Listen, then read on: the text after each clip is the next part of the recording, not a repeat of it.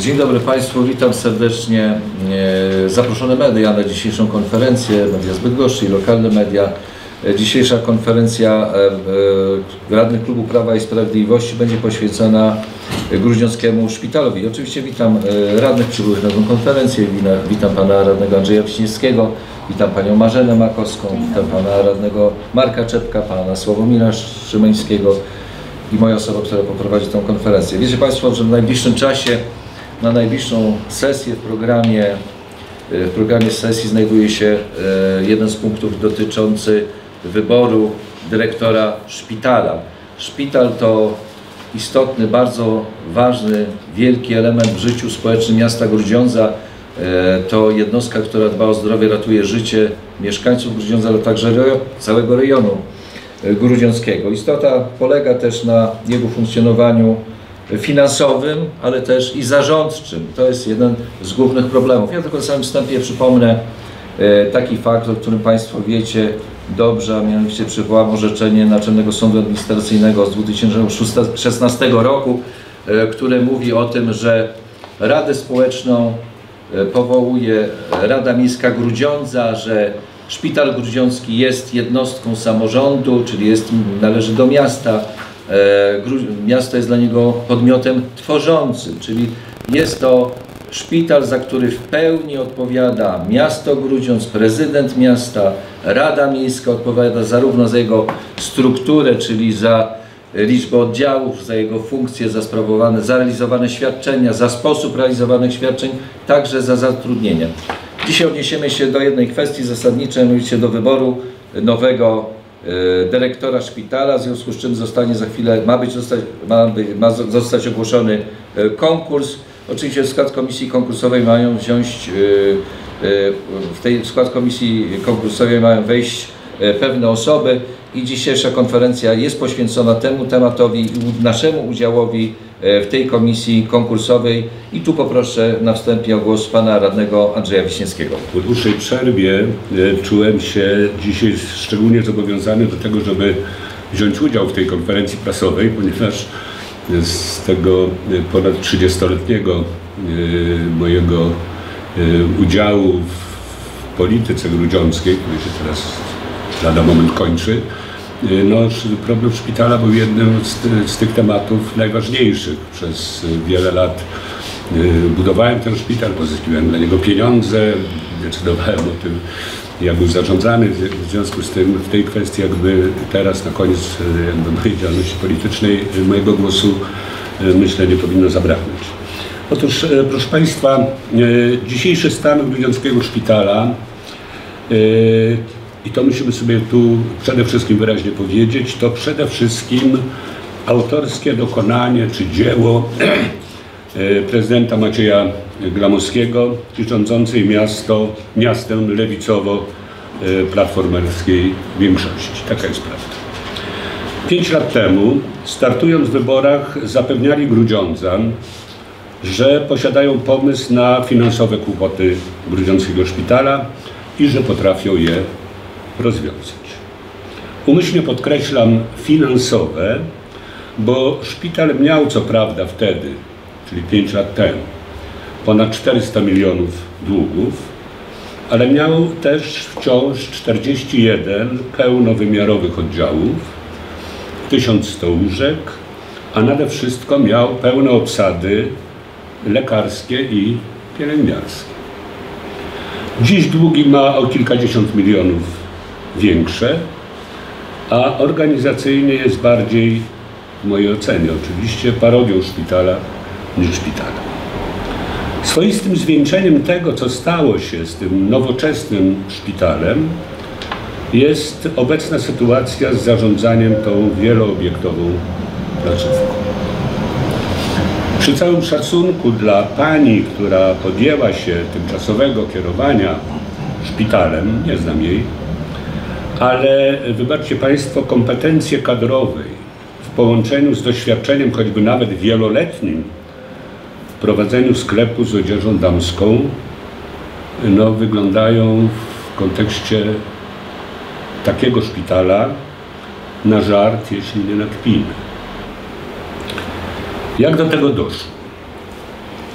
Obietnice prezydenta Macieja Gramowskiego okazały się po prostu wyborczą kiełbasą, za którą nie krył się żaden realny pomysł i żaden realny plan.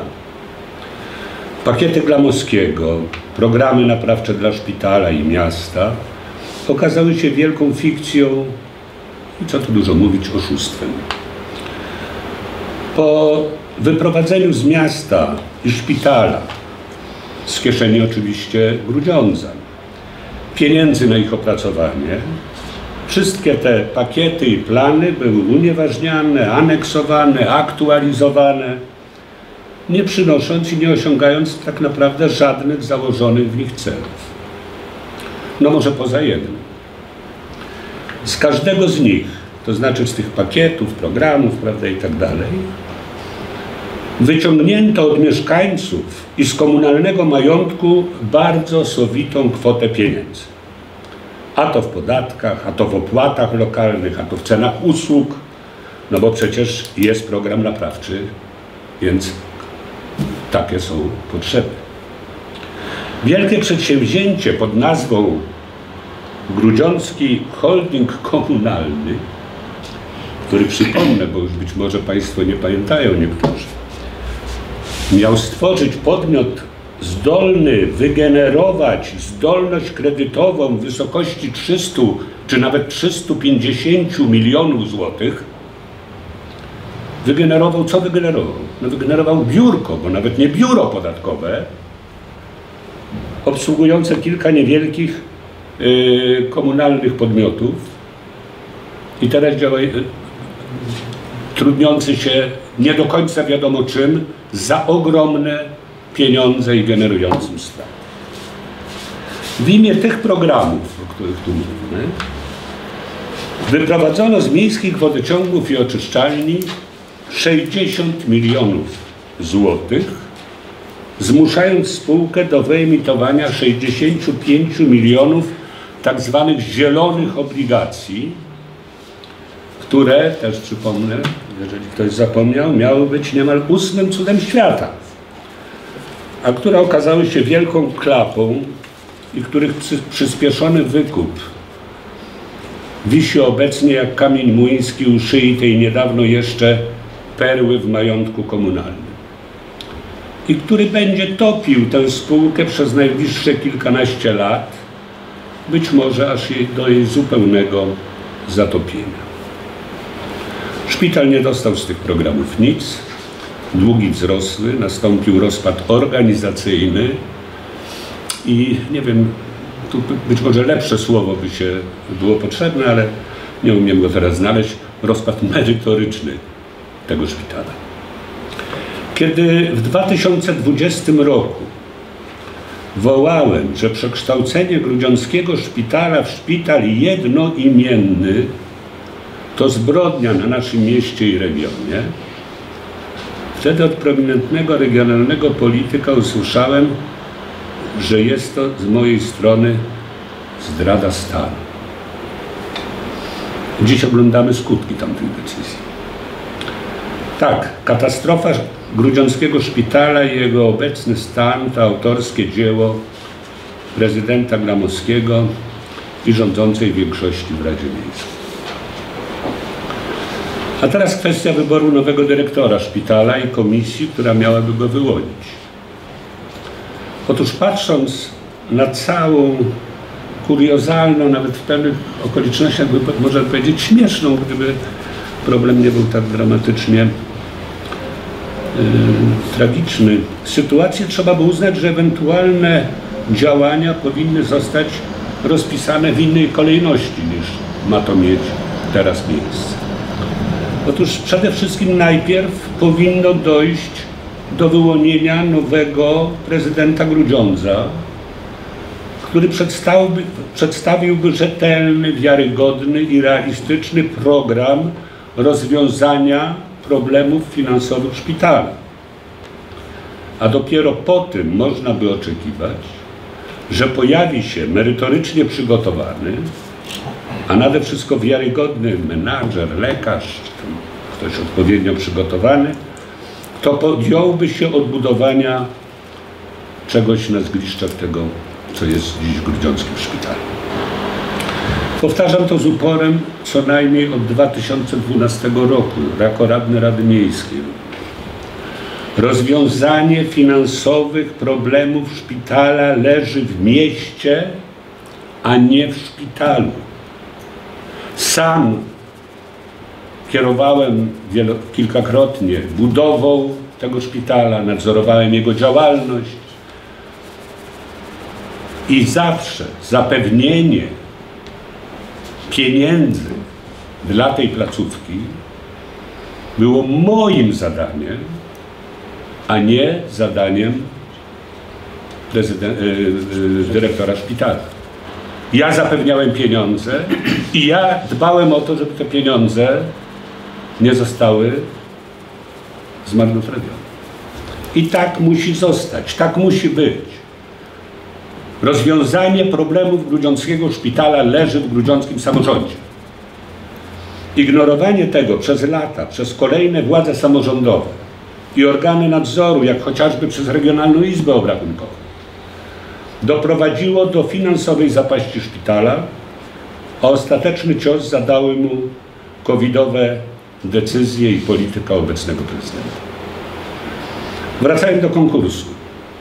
W mojej ocenie nikt odpowiedzialny i poważny do takiego konkursu nie może stanąć bez otrzymania ze strony organu prowadzącego, czyli w tym wypadku prezydenta Grudziądza i Rady Miejskiej, gwarancji rozwiązania sytuacji finansowej. Każdy, kto bez takich warunków wstępnych zadeklarowałby podjęcie się takiego zadania, będzie w mojej ocenie oszustem, który zwietrzył okazję załapania się choćby na kilka miesięcy na całkiem przyzwoitą pensyjkę dla siebie, może dla paru kumpli, może znajomych, a który po kilku miesiącach rozłoży bezradnie ręce i odejdzie na własną prośbę z powodów osobistych. Mam zresztą wrażenie, że takie właśnie scenariusze ćwiczymy w tym szpitalu od kilku lat. To nie jest nic nowego. I chyba czas najwyższy, żeby z tą fikcją skończyć. I mam cichą nadzieję, że nikt taki się teraz w obecnej sytuacji nie znajdzie. Do swoich kolegów i koleżanek radnych, nie tylko z klubu Prawa i Sprawiedliwości, ale ze wszystkich klubów. Apeluję, żebyście nie przykładali ręki do dzieła kompletnej destrukcji naszego szpitala. Zostało nam już tak niewiele tej kadencji. Zdobądźmy się choćby w tych ostatnich decyzjach na stanięcie w prawdzie i nie bierzmy udziału w tej ostatniej, proponowanej nam przez pana prezydenta Macieja Glanuskiego ucpie. Na tyle przynajmniej z naszej strony ten szpital i to miasto w tych ostatnich miesiącach naszej kadencji zasługuje.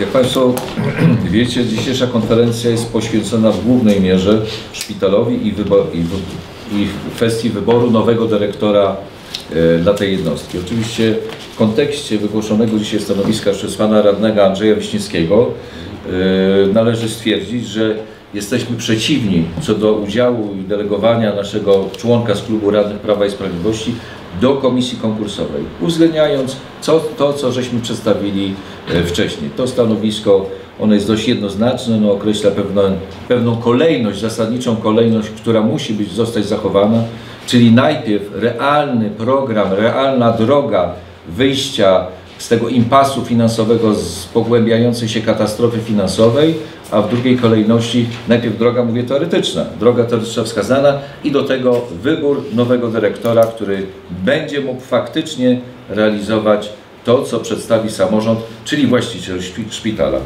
Proszę bardzo, jeżeli ktoś chce coś jeszcze... W takim razie jeszcze y, Państwo nie weźmiecie udziału w tej komisji konkursowej, tak mamy to rozumieć, że Państwo nie delegujecie, czyli tak naprawdę komisja może się odbyć bez Państwa. Tak.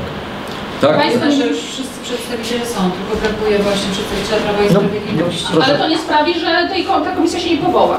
Nie. Nie, komisja oczywiście będzie powołana, natomiast uchylamy się całkowicie od udziału w tej komisji, dlatego że uważamy, że kolejność y, w, tym, w tej całej sytuacji y, no, powinna być taka, że najpierw przedstawiamy realny program y, wyjścia z tej gigantycznej zapaści finansowej, a później do tego jak gdyby y, powołujemy y, także komisję, ale też i wskazujemy człowieka, który może e, z tym sobie poprowadzić, dlatego że materia, wiecie Państwo, jest strasznie e, trudna do, do, do dzisiejszej kontekstu. W ogóle finansowania też służy zdrowia roszczeń, które powstają, ale też i braków kadrowych, bo mówię też o brakach kadrowych, które są na rynku, jeżeli chodzi o lekarzy, jeżeli chodzi o pielęg- pielęgniarki, dlatego e, temat jest bardzo, bardzo, bardzo trudny do realizacji i musi to być ktoś wyjątkowy, a kwestia finansowa naprawdę jest rzeczą e, bardzo poważną do rozstrzygnięcia i piłka niestety tutaj jest po stronie gruzińskiego samorządu, po stronie realizatora zadania, czyli prezydenta i większości rządzącej, która ma wpływ na to i może cokolwiek tutaj zaproponować. Proszę bardzo, jeżeli panowie... Szefa lecznicy dopiero po wyborach samorządowych? Teraz bez wątpienia ruch należy do pana prezydenta, ponieważ swoistym konkursem, który mieszkańcy Grudziądza ocenią działalność pana prezydenta Gramuskiego, będą wybory. Natomiast y, wzięcie udziału y, w tym y, konkursie wyłaniającym dyrektora byłoby potwierdzeniem, że my nadal jesteśmy ślepi na to, co z tym szpitalem w ciągu ostatnich lat się stało i ciągle uważamy, że rozwiązaniem jego problemów jest taki czy inny dyrektor. To jest głęboka nieprawda i starałem się to uzasadnić dlaczego. I dlatego uważam, nie powinniśmy dalej tego przekonania i tego komfortu swoistego dla rządzącej większości stwarzać. Ponieważ, jeszcze raz powtarzam, ten szpital nie ma żadnej szansy z żadnym dyrektorem, jak długo organ prowadzący nie zaproponuje rozwiązania jego problemów finansowych. To powinno się stać najpóźniej w roku 2018. Miało się stać. Po drodze historię jakby tego postępowania przekazałem. Natomiast dzisiaj obecny stan i to, że tą wielką, regionalną, jak sama nazwa tego szpitala wskazuje, placówką kieruje osoba przy całym szacunku dla tej osoby, bo mówię, no ta pani jest niczemu winna, z kompetencjami kadrowej i z doświadczeniem prowadzenia sklepu odzieżowego, najlepiej pokazuje, co z tym szpitalem organ samorządowy, organ prowadzący w ostatnich latach zrobił. I uważam, że do tego, do utrzymania, utrzymywania tej fikcji nie należy w żadnym wypadku przykładać ręki. Trzeba to przede wszystkim uświadomić mieszkańcom Grudziądza, w jakim znaleźli się położeniu i w jakim położeniu znalazł się Grudziącki Szpital. Szpital to jest e, żywy organizm, e, a Państwo mówią, że najpierw e, program naprawczy finansów, czy, czy ta zmiana prezydenta miasta, który by te finanse naprawił. To wszystko jest, to wszystko potrzebuje czasu. Wybory samorządowe prezydenta mamy za rok. W tym czasie szpital potrzebuje menadżera, dyrektora, kogoś, kto będzie nim zarządzał. Co w między pomiędzy? Jeżeli teraz nie wybierze się nowego dyrektora, kto ma nad tym sprawować e,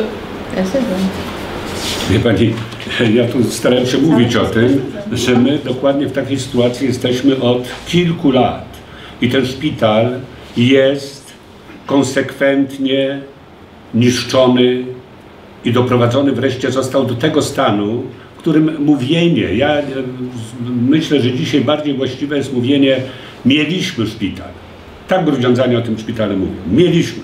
No Niestety w wielu kwestiach muszę się zgodzić z panem Andrzejem Wisielskim, ponieważ kilkakrotne próby zwrócenia się do banków e, o uzyskanie kredytów dla, dla naszego szpitala, kredytów lepszych od tych, które mamy e, w, tak zwanych parabankach, bo, niestety ta instytucja finansująca takim parabankiem jest tak, jak na razie, gdzie mamy tam e, najniższy procent, to jest chyba 8, a no, można uzyskać e, 3% e, kredyty gdzie bardzo by to użyło, bo e, rocznie płacimy około 40 milionów w tej chwili samych odsetek od kredytów, natomiast nie spłacając kredytów. I sytuacja taka, że nasz szpital balansuje na, w tej chwili na minus 500, y, tam z małymi różnicami, krótkoterminowe, długoterminowe kredyty i tak dalej, doprowadza do takiej sytuacji, że nieraz nie ma na wypłaty dla, dla pracowników, czyli mm, no, balansuje i musi brać jakieś takie chwilówki,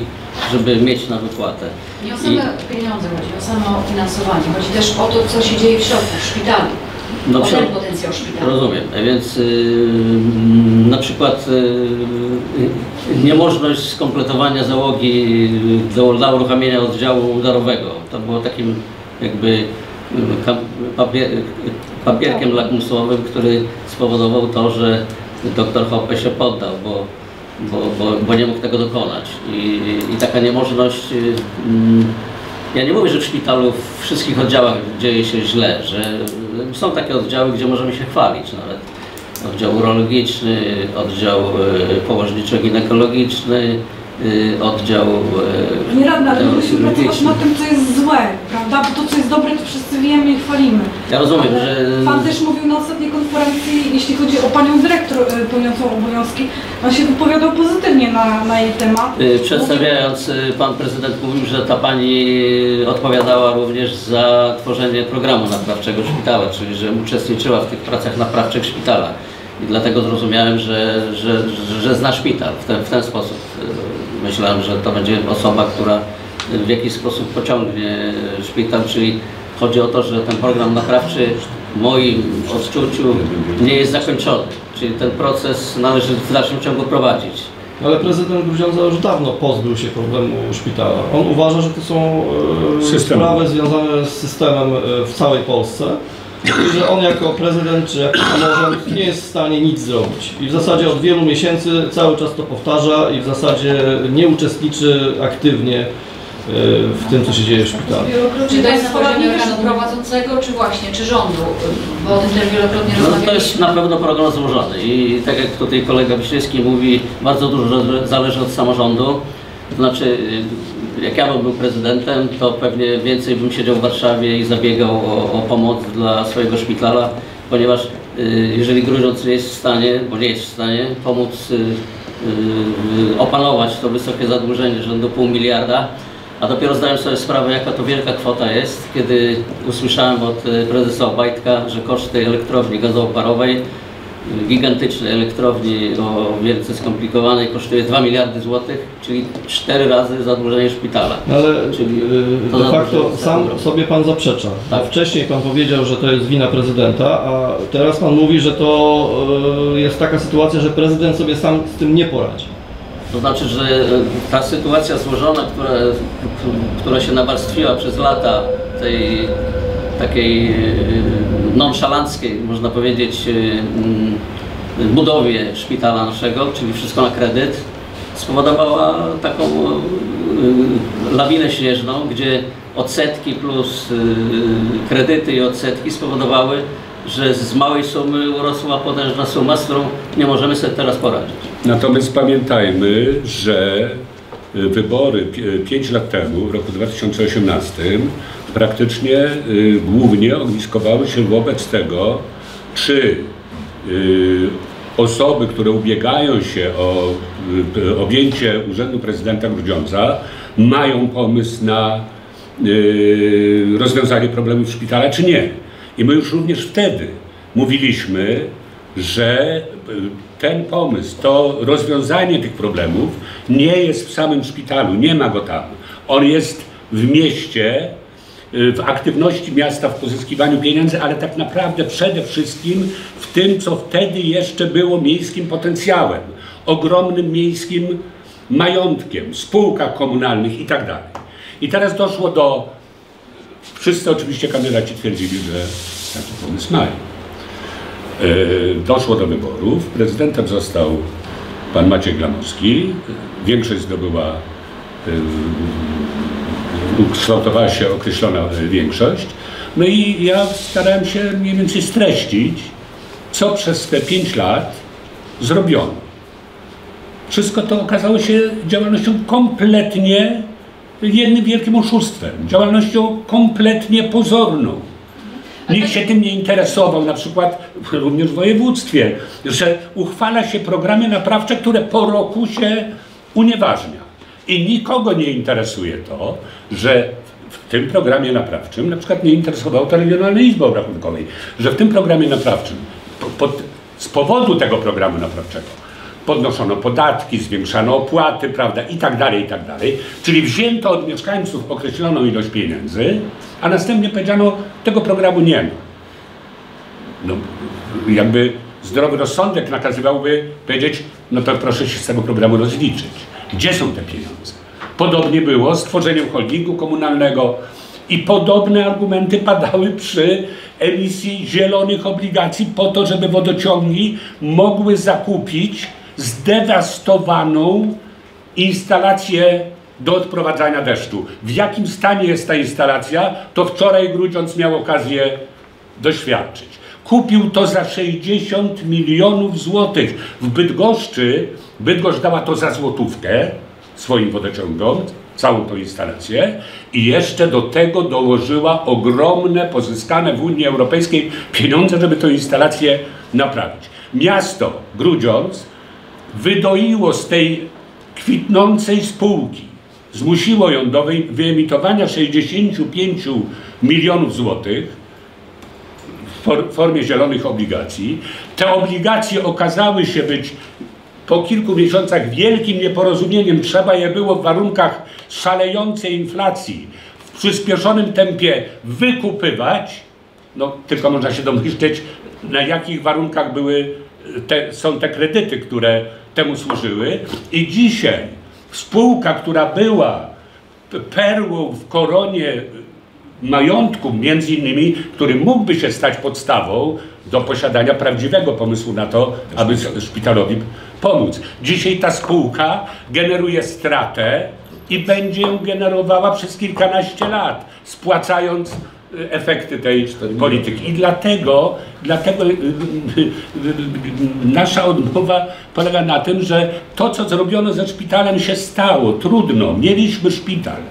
Co się z tego da zrobić? Nie wiem, bo No właśnie, bo mi chodziło o to, czy y, kolejny prezydent następny, nie wiadomo, y, czy on będzie z lewa, czy z prawa, czy Państwo radni, z lewa, z prawa, czy Państwo macie kompetencje, żeby przygotować program naprawczy, który zadziała? Może potrzebny tutaj jest zewnętrzny audyt, zewnętrzny specjalista, To było- nie, tu jest, tu jest pod tytuł programów czy 10. Państwo, czy państwo samorządowcy, kolejni prezydenci będą mieli kompetencje do tego, żeby No. szpital wyprowadzić. Panią, ja uważam, ja uważam, jako już taki kończący swoją polityczną karierę e, polityk, a byłem w tej polityce od, od lat 80. właściwie, więc ja uważam, że jeżeli Grudziądzanie posiadają instynkt e, samozachowawczy i jeżeli Grudziądzanie chcą ocalić cokolwiek ze swojego dobrze kiedyś funkcjonującego szpitala, to mogą, muszą postawić podstawowy warunek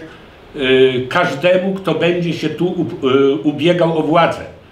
To musi być realny i wiarygodny program naprawy finansów publicznych w mieście po to, aby można było coś z tego szpitala, coś z tego, co było regionalnym szpitalem specjalistycznym w Grudziądzu, uratować. I mam nadzieję, że te wybory kwietniowe do takiego rozstrzygnięcia doprowadzą. Jeśli nie doprowadzą, można powiedzieć wszystko. no A nie obawia się Pan, że do tego kwietnia jeszcze e, pogłębimy to, co jest No w tej na pewno. chwili?